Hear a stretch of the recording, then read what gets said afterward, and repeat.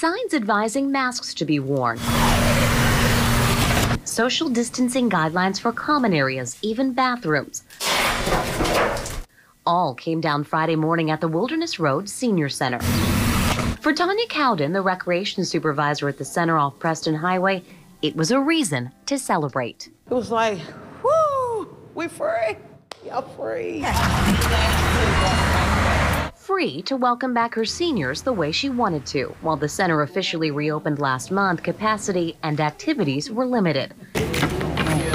But on Friday, with restrictions lifted, seniors came back, smiling and eager to see each other. You can talk on the telephone, but it's nothing like seeing people in person.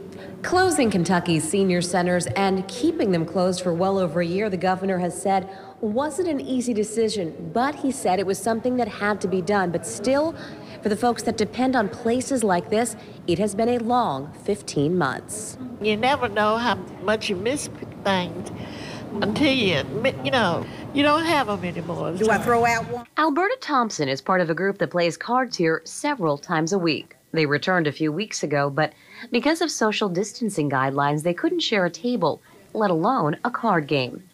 But as the governor announced we were out of the crisis, they enjoyed that long awaited game and each other. We thought it was Christmas because they were so happy about seeing each other. Lauren Adams, WLKY News.